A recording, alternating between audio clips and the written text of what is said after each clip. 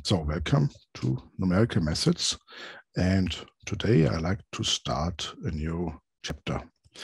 So we had computer arithmetics, Monte Carlo method, random number generation. We came back a little bit to Monte Carlo and we already discussed how we would do Monte Carlo for time discrete stochastic processes, which is just a vector valued random variable if you see the time steps as the components of um, a random variable.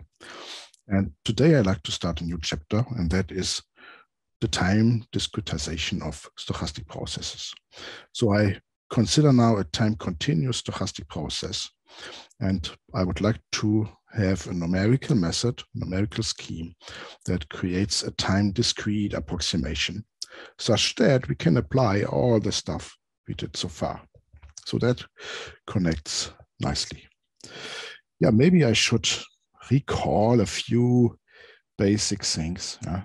I assume you all know them, and maybe I could also have some nice introductional sessions on that. But uh, maybe let's just recall a few things. Yeah. So, what's the stochastic process? So that's nothing special. It's just a family of random variables parameterized by time.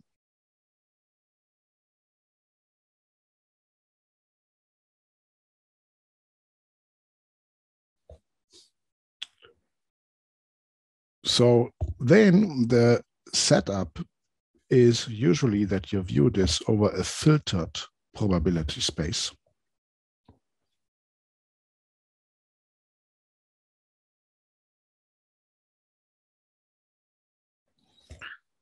And that means all those random variables, x of t, yeah, they are actually share here the same omega.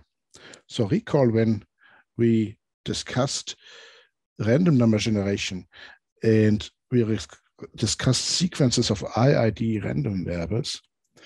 Okay, then I shortly made this comment that how do you model this? Okay, there is in the background the product space. And one event in the product space then describes the values of the whole sequence. And that's also the case here. Yeah. So uh, it is that we have, say, an event omega in omega, and then we get, well, a single function of time. If we evaluate our random variables on that omega. So they all share the same space in the background. So the space omega has to be large if the guys here have some independence coming up uh, as time goes on. So for that reason, we often call omega here also the path. Yeah? So that omega here is sometimes called the path. Maybe that word is not so precise. Sometimes you call it the omega the path, or sometimes you just call this function, You know, t maps to x of t and omega, the path, yeah, so the values. Okay, then we have here the word filtered. Yeah? So there is the filtration in the background.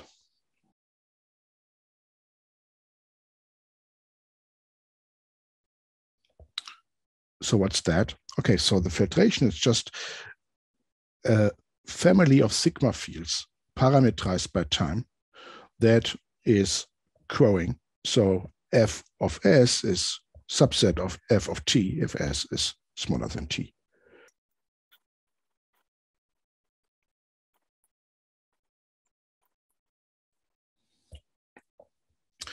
This more or less describes the information that we have in time t. Yeah? So f t is the information that we have in time t. Well, what does it mean, information? Well, with respect to the notion of measurability of a random variable.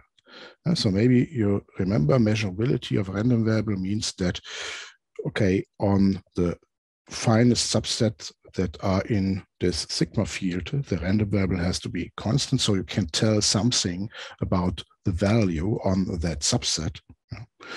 So for example, if the sigma field is just the empty set and the whole set omega, a random variable that is measurable with respect to this sigma field has to be constant. So you can tell the value if you know on which set of the sigma field you are, of the generating uh, sets.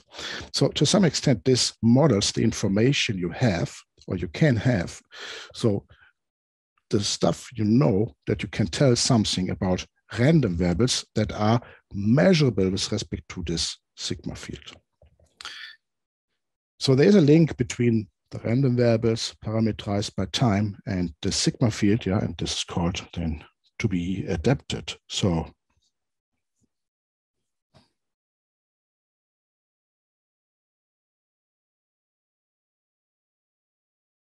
So that just means that xt as a random variable is ft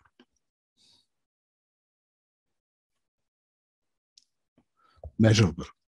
Well, measurable uh, as a random variable, so xt now maps from omega to, okay, I didn't tell you what's the image space. Say, let's say the image space is r, so it's a real valued random variable.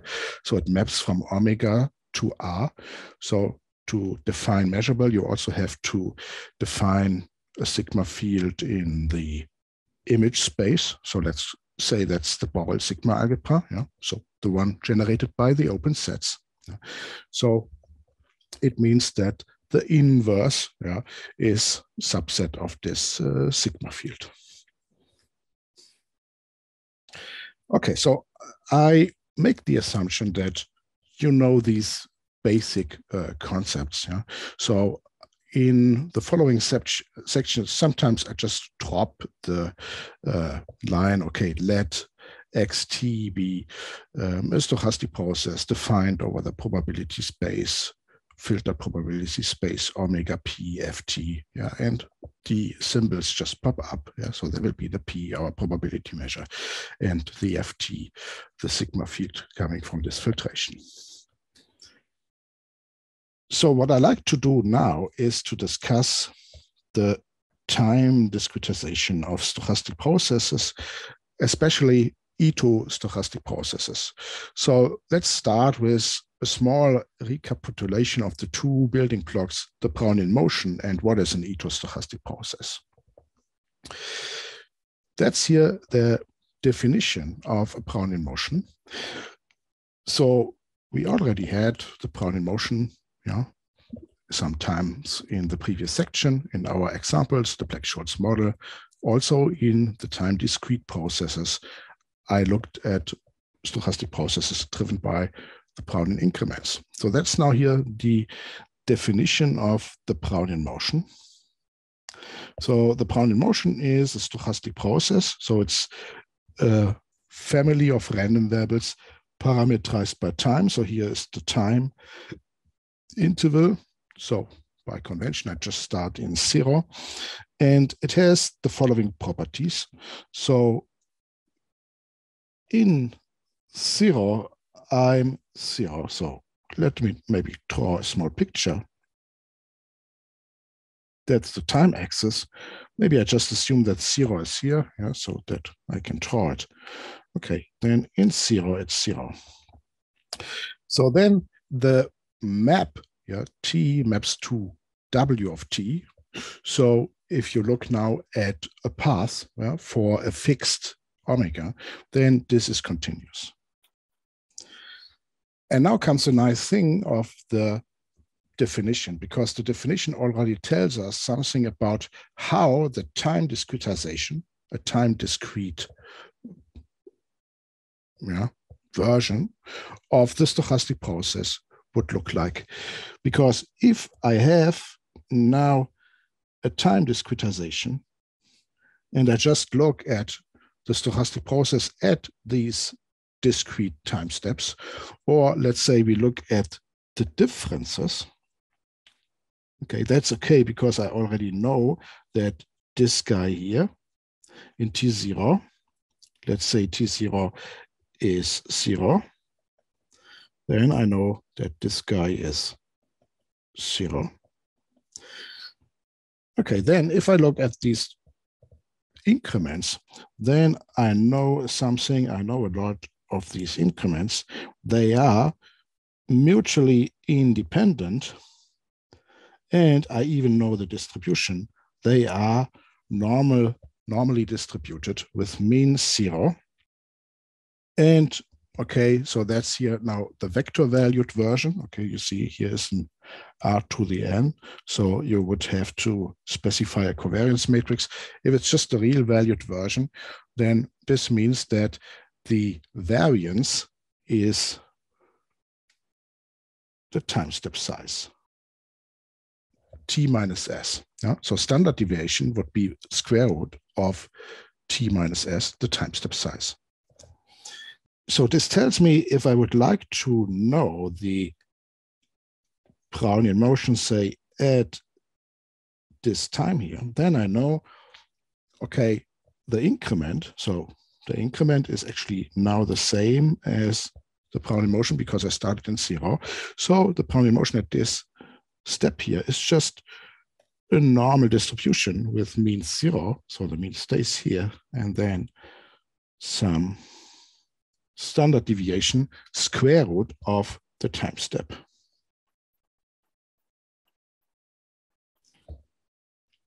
Okay, that looks uh, really a bit uh, yeah, strange. Why do we have this property? Actually, the number four is more or less um, a consequence of the number three, yeah? because uh, you know that the va variance, if you take two independent normal distributions, yeah, then the variance of the sum is the sum of the variance. Okay, that's easy to show. Yeah, you just plug in the sum in the formula of the variance. Yeah, uh, so you get uh, x plus y squared. Yeah, and then you get x times x plus y times y plus the mixed term, but the mixed term is zero because they are independent. So you know that the variance of the sum is the sum of the variance. So you know that if you look here at these increments and you build the process by summing up these increments, that the variance has to grow linear in these increments. So actually the number four is to some extent just a consequence from, from the number three. Uh, or say the number three and that we have that is normally distributed. Okay, the nice thing about this definition is that we already have a time discretization that the increments or then our time discrete stochastic process is normally distributed. So it fits very, very well to the numerical methods we already know. And this Brownian motion, so this stochastic process, is a building block for more stochastic processes. Before I do this, here again, you have this picture, yeah, which I just illustrated. So the first one is starting here, say in zero. Okay, then we have a normal distribution with mean zero. Okay, and now if you would like to build a path, yeah, so you draw uh, a realization omega. So that means your first realization is maybe here this point. Then starting from that point, you build the next realization of the Brownian motion. So the nice thing is that my Brownian motion, say in time, capital TK, if I have a time discretization, this is just the sum I from zero to k minus one, w ti plus one minus W TI. Okay, and since you actually you would have to say plus W of T0, yeah, the starting point, but since you know that the starting point is zero, I can just drop it. So you see, I can build the Brownian motion at time, the future time tk, by summing up my Brownian increments, which are then sometimes called delta W ti, yeah? so parameterized with the starting point. Okay, so these are here my Brownian increments, and I can build the whole thing from these steps. If I'm only interested in the stochastic process at discrete times, like in this picture, that's already enough yeah, to build the stochastic process. So you would add another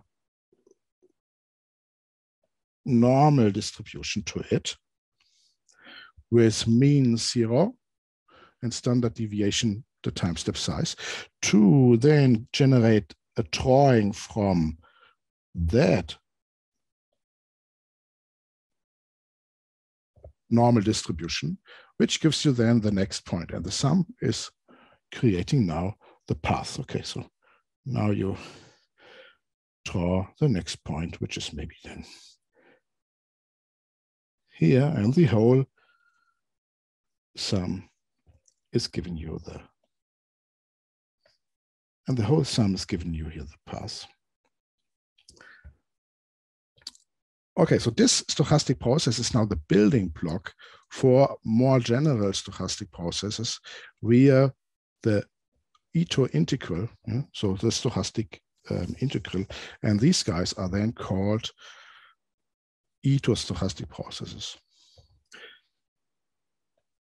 So for an Ito process, you mostly see here this differential notation. So dx is mu of t and x dt plus sigma of t and x dw. So what's behind that is that this is just a short notation. If you just apply here, say, to this notation, the integral. So I just apply the integral. So I have here this guy. Uh, and then you get from the short notation, yeah, note that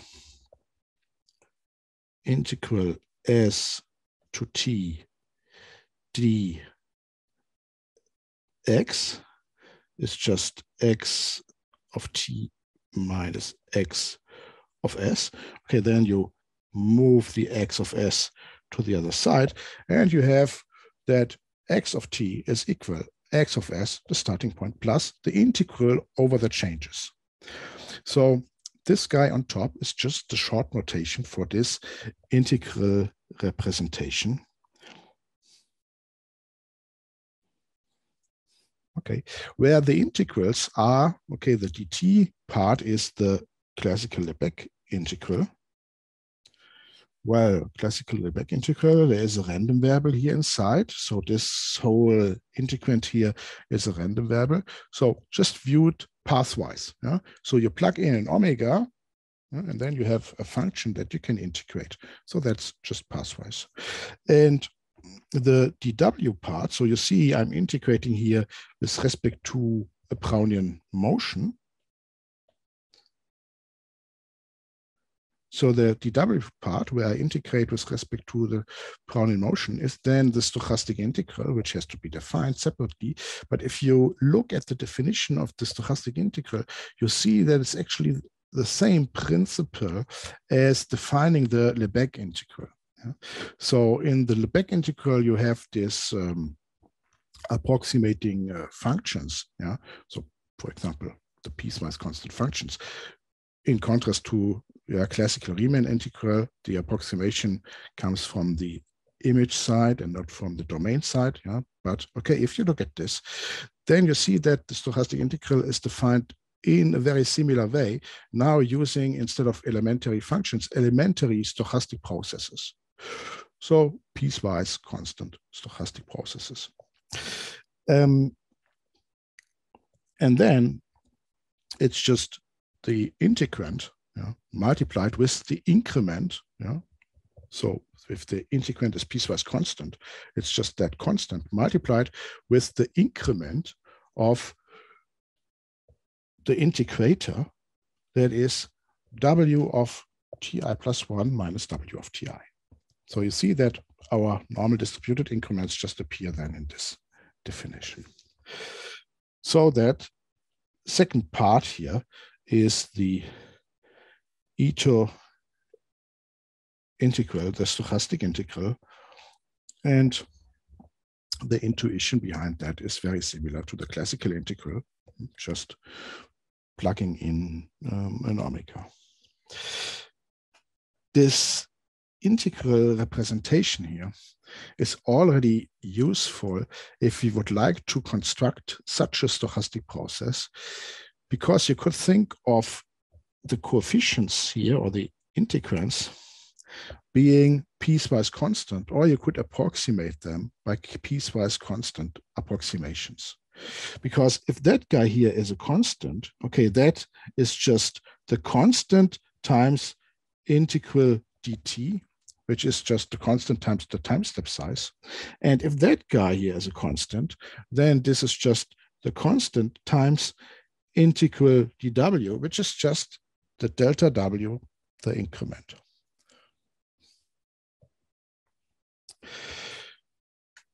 So let's discuss now some numerical schemes. So what I will do in this section here is I will just state time discrete approximations. Uh, so we will just go through a few definitions, the Euler scheme, the Milstein scheme, the predictor corrector scheme, and just study a little bit how these time discrete approximations of the time continuous stochastic process behave.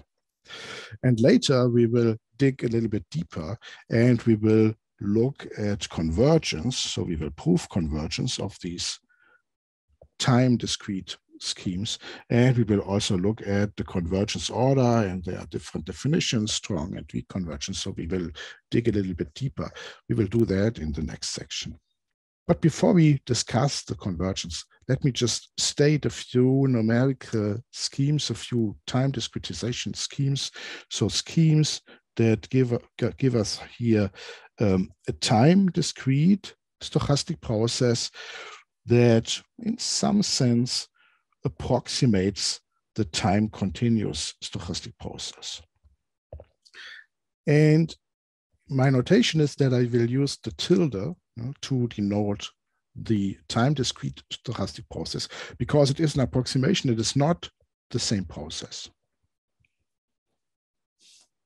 Okay, so we start with the Euler scheme or Euler-Maruyama scheme. So given an Ito process, so written here in the differential form, dx is mu of t and x dt plus sigma of t and x dw. x of 0 is x0, so I just assume by convention that we start in 0. Okay, that's uh, no issue to just translate it. And given now a time discretization, so I have a time discretization prescribed where I would like to define random variables that approximate x of ti on this time discretization.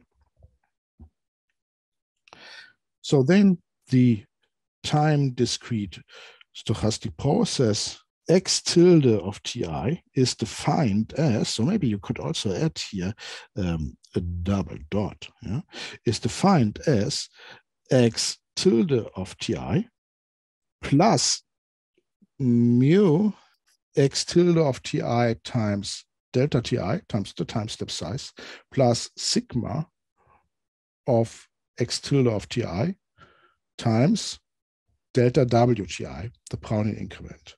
So this thing is called the Euler-Maruyama scheme or Euler scheme of the stochastic process X. You see, this is a recursive definition. Yeah, I define the next value as a function of the previous value. So the next random variable is given by the previous random variable plus the change. Uh, so I have to tell you how I start. Of course, I start with the same value as my original stochastic process. So x tilde of zero is x0. Okay, so there is a slight subtle thing here uh, note that we plug in here in the argument of the mu the x tilde of ti. So of course, I do not know the process x. I just know the approximations. So when I evaluate here the coefficient, I have to use what I have. And since this is recursive and I'm going forward in the time steps, yeah, the random variable approximation I have for the x is just the x tilde of ti. So often the scheme is just called uh, Euler scheme, yeah, sometimes stochastic Euler scheme, because you maybe know this scheme also from ordinary differential equations, yeah, where it's also quite common. So the Euler scheme just derives from a simple integration rule. So you go back to the original definition of the Ito stochastic process and you rewrite the differential notation in the integral representation.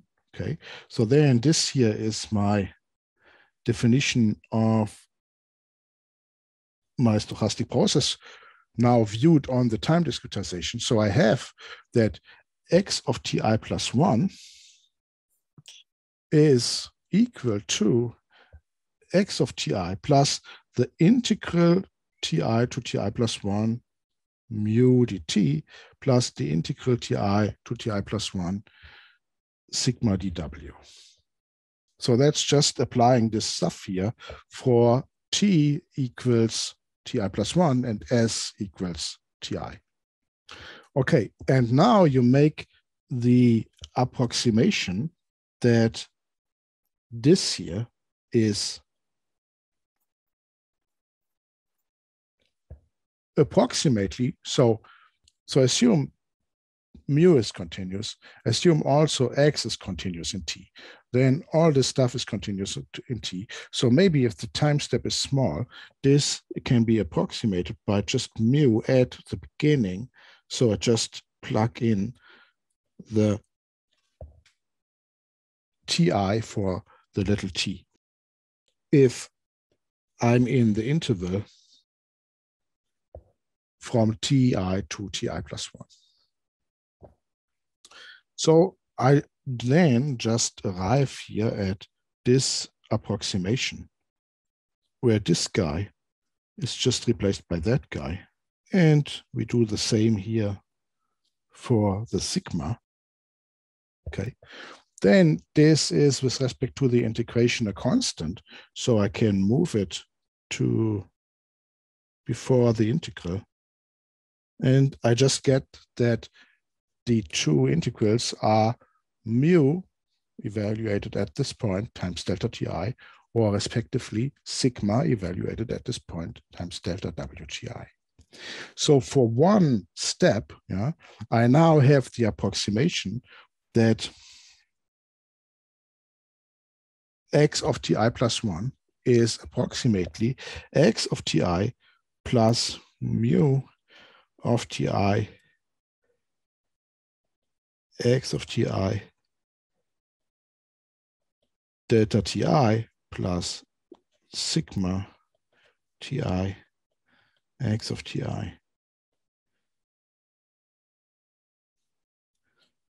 delta w by Brownian increment of ti. So now you could say you just define this as the x tilde of ti, but then for the first step, that would be okay. Okay, you can, for the first step, you can use here x of t0, x of t0, x of t0. But then for the next step, actually, since you do not know the x of t1, you have to replace this guy here by the approximation with the tilde. So we arrive at the scheme where I just have here the approximations plugged in. Okay, that's quite uh, straightforward. and actually, that's um, a very successful numerical scheme. Yeah, we have uh, convergence order uh, one in the weak sense, convergence order one half in the strong sense. Um, that's already quite nice. So if you make the time step size finer, weak convergence is actually, it sounds weak, but it's the one that is most relevant for us uh, because we will later calculate expectations of functions of this, which can be seen as uh, the weak uh, convergence. Uh, so we have a nice convergence order, yeah, which is uh, linear in uh, actually here uh, decreasing the time step size. Maybe one small remark. You see that actually this scheme would have no discretization error if the coefficient here would be a constant from the beginning. So the approximation error or the nature of the approximation comes from the fact that these guys here are uh, not uh, constant in their arguments. Um, where we could even create the exact discretization if they are piecewise constant, say as a function of t only. Yeah. So, but if they start depending on x, yeah, that becomes an issue. Uh, so I would like to have now an improvement if they these coefficients depend, so they are not constant, on their arguments. And let's start by looking at what happens if sigma depends here on, on x. So the first uh, simple example is that I consider the case where sigma is a linear function in x. So I consider the case where the sigma of t and x is actually some constant sigma star times x. Hmm? So I have here the sigma star times x. Uh, I'm currently not interested in the discretization error of the mu. That will be my next topic when I talk about the predictor corrector scheme. So let's consider the case where the sigma depends on the x.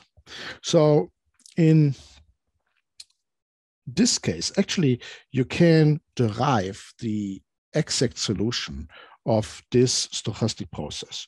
So if you have here the initial value in zero is x0. So how could you derive the exact solution of this stochastic process?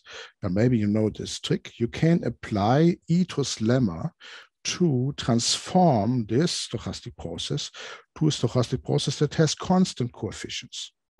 And the trick is that you just define y as the logarithm of x, okay? And then Ito's lemma tells you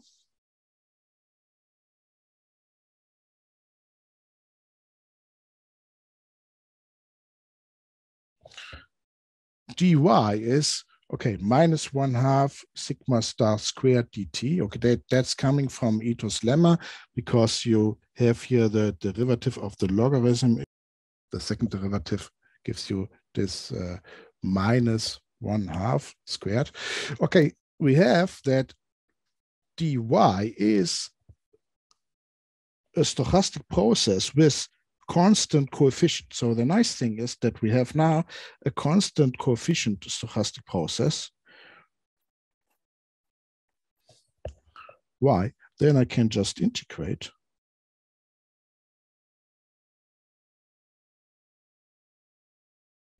So which gives me that y of t is y of s minus one half sigma star squared t minus s plus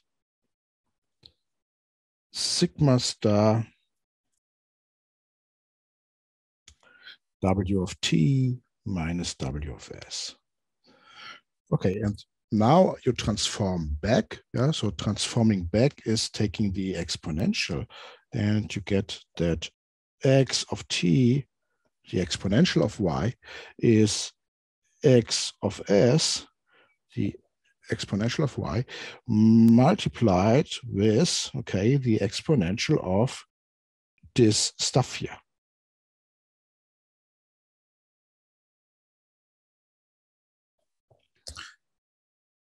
So I have an exact discretization scheme. Yeah. So the next value is the previous value multiplied with something, well, something that I can calculate, yeah, so where I have here just the Brownian, Brownian increment. So for that stochastic process, actually, I would know a time discretization scheme that has no time discretization error because this is the exact solution. So if you now write this here with S being little t and capital T being t plus delta t, time step, uh, I have that x at the next time step, t plus delta t, is x at the previous time step times exponential minus one half sigma squared delta t plus sigma delta w. Yeah? So sigma now, the constant sigma star. Um, yeah, that doesn't look like the Euler scheme. Okay, so I have um, x of t multiplied with the exponential. If I would like to make it a bit similar to the Euler scheme, okay, what I can do is uh, I just add here the x of t, okay, so that I would like to have here in the front. And then I also need to subtract the x of t, but then subtracting this x of t, I can just write it here with a minus one inside this bracket. Uh, so of course I can make this look a little bit more like the Euler scheme. So I have the next value. The next value is given by the previous value plus the change. And this change is now x of t multiplied with exponential minus one half sigma star squared delta t plus sigma star delta w in the exponential minus one. Okay, so that would be the exact discretization scheme. What would the Euler scheme do? Let's go back. Our example is sigma star x of t d, dw. So in the Euler scheme, I have the x of t here.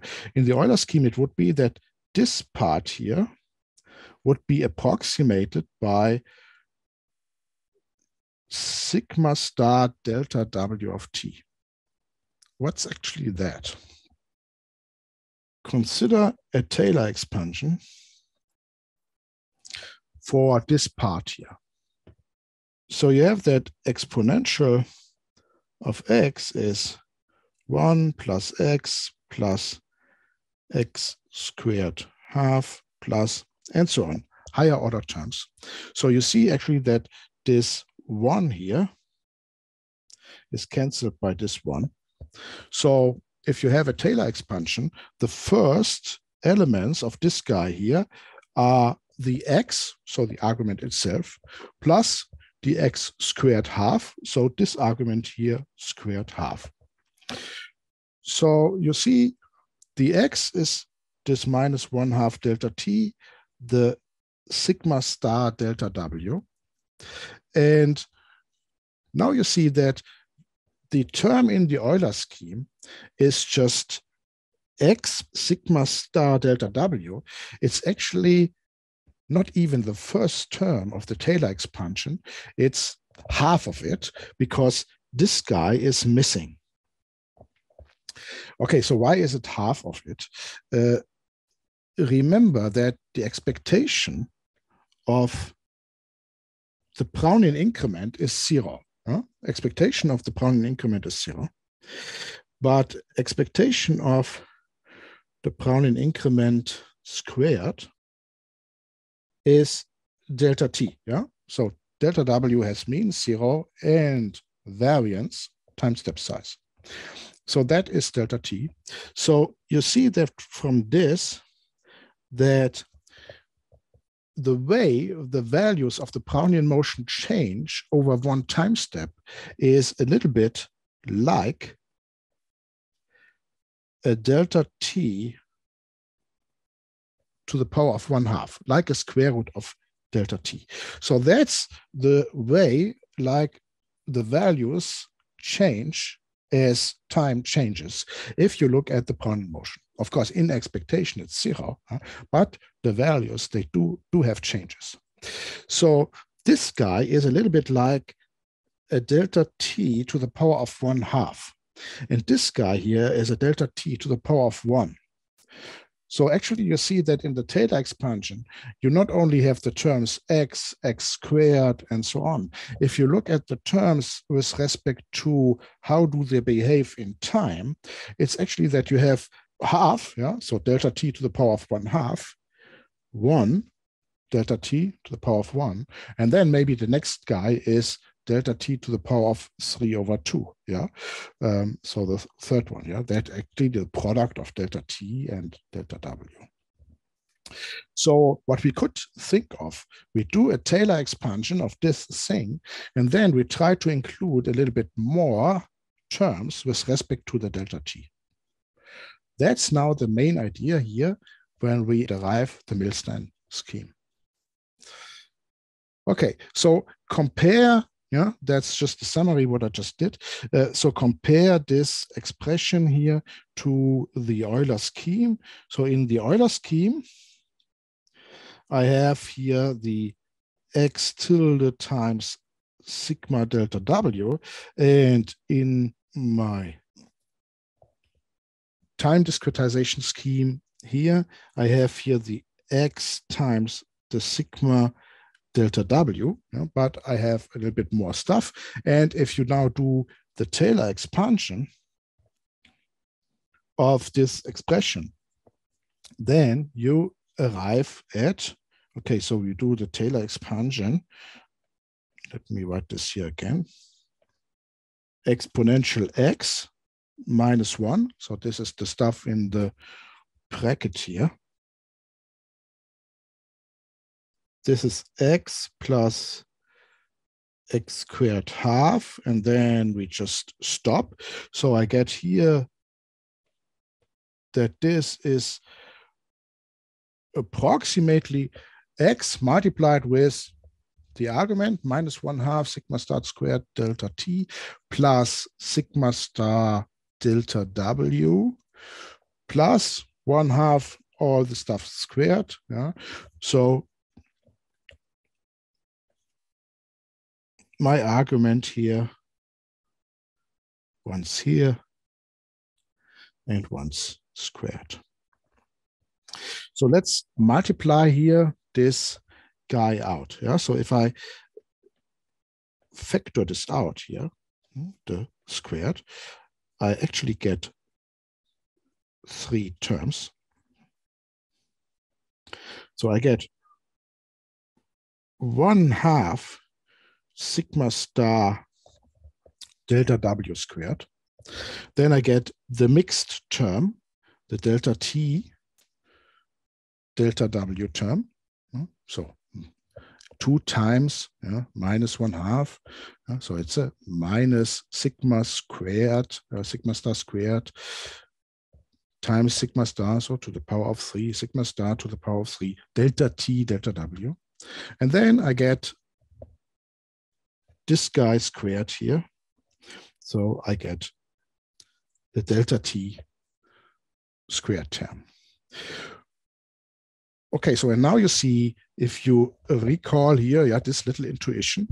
So if you recall here this little intuition that the delta w is a little bit like a square root of delta t.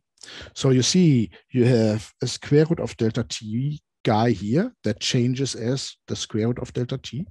You have a delta t guy here. Okay. Then I have here a delta w squared. Okay, that's the variance that changes when time changes, like delta t. So that's a delta t term. And then you have here a delta t times delta w. That's a delta t to the power of 3 half. So if you now think that you do the next approximation. So the next approximation is that we just consider the terms up to the delta t. So we just forget about these guys here. So we consider these as higher order terms.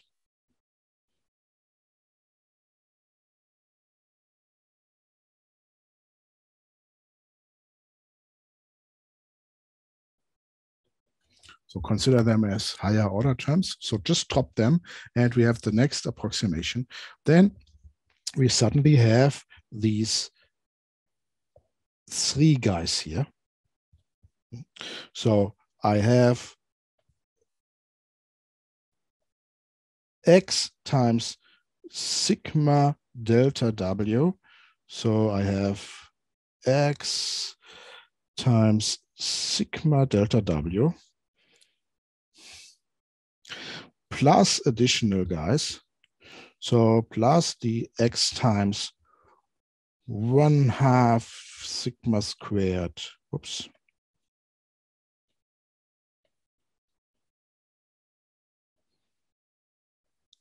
One half sigma star squared delta t, one half sigma star squared delta w squared, yeah, so the first one with a minus.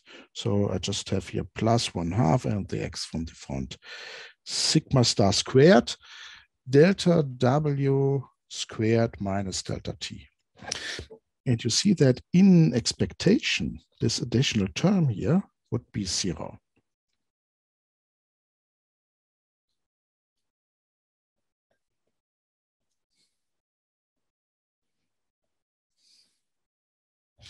But it is not zero, well, on specific paths, yeah, pointwise.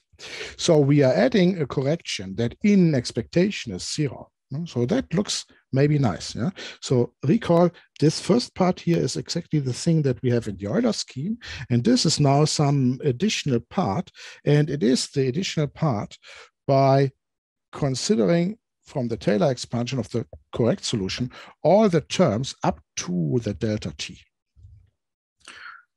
Okay, so that's now my Milstein scheme. So the Milstein scheme has here this additional additional correction term. And the additional correction term involves here the sigma star squared. Yeah, recall what was the general case? The general case was that I have a function sigma of t and x of t. And in our situation, we just considered that there was here a sigma star times x. Yeah? So actually this sigma star squared will in the general case correspond to sigma prime of t and x of t, that's just sigma star, multiplied with sigma of t and x of t. Okay, that will be not this part, that will be actually this whole part here, yeah? So this part, the x of t times sigma star squared actually corresponds in the general case to the sigma times the sigma prime, where sigma prime is the d by dx. So differentiate with respect to the dependency on the x. Okay, that was natural because we just assumed that we have a linear dependency in the x component. Yeah, so in our small motivation. So in the general Milstein scheme, we now have this expression here in this place here. Okay, so this stuff, one half times this stuff is multiplied here with this thing, yeah, which in expect uh, expectation is zero. So that's uh, the Milstein scheme. So given now again an Ito process, dx is mu dt plus sigma dw, and we have a time discretization given. I now define the Milstein scheme as, yeah, it is the next approximation is the previous approximation plus an Euler step. Okay, this thing here is an Euler step. Plus one half sigma times sigma prime delta w squared minus delta t. Yeah? So this thing is the Milstein correction. Okay, this is the Milstein scheme. And maybe we can explore yeah, how this scheme improves the discretization. So this Milstein scheme only gives me an improvement if the sigma parameter depends on x. So it only operates on the dw part, the sigma dw part. So the following scheme is now looking at the dt part. And recall that the dt part in the Euler scheme is approximated by taking the starting value, so the value at the starting time point, and multiply it with the time step. So if you think of classical integration rules, that's actually just the scheme where you have a function here. And if that here is now your interval, then you look up the starting value and draw a small rectangle. So that's your uh, approximation. But you know that you can easily, for example, improve this integration rule by taking the trapezoidal rule, there you take the starting point and the end point. So why not improve this integration by taking the starting point and the end point of the interval.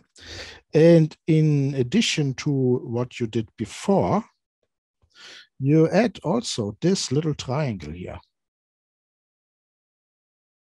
Though that's then the approximation that ti, ti plus 1, mu of t, I write the stochastic process that now also here in the mu, but actually I'm considering, say, either on a fixed path omega, or I'm considering just the classical integration rule yeah, with a classical function.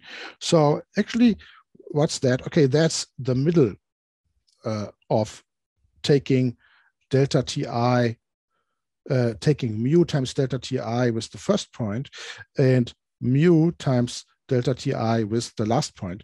That's just the average of this. Yeah? Okay, that's just mu ti x of ti plus mu ti plus 1 x of ti plus 1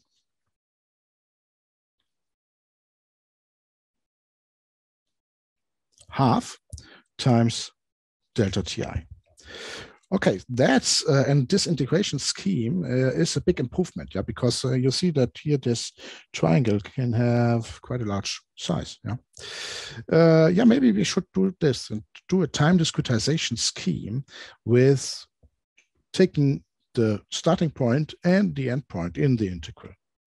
But there's a small issue, and that's the reason why I wrote here the uh, stochastic process.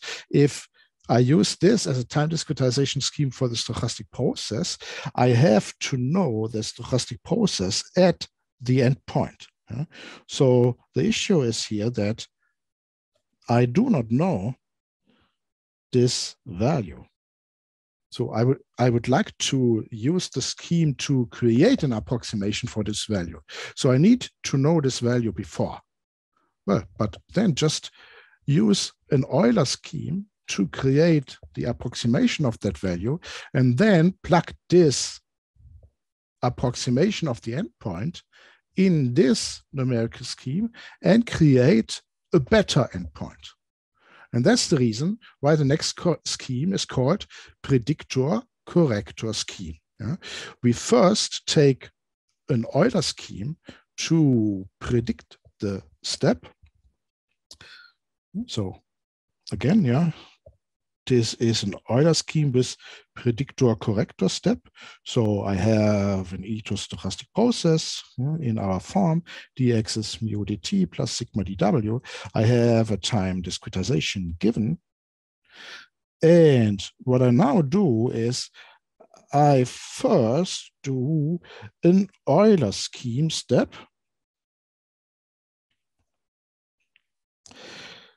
So that means x tilde at ti plus 1, the next time step is x tilde at ti plus mu of ti, x tilde ti delta ti plus sigma of ti, x tilde ti, uh, delta wti. That's an Euler step. Okay, I call this here star because I will just use it to define the original scheme. That's here is an Euler step. And this Euler step is the predictor. It's predicting the value. And then I use that to do the trapezoidal integration rule in the numerical scheme. So I replace the classical Euler step that is the mu at the starting time point times delta ti with the trapezoidal time step, yeah?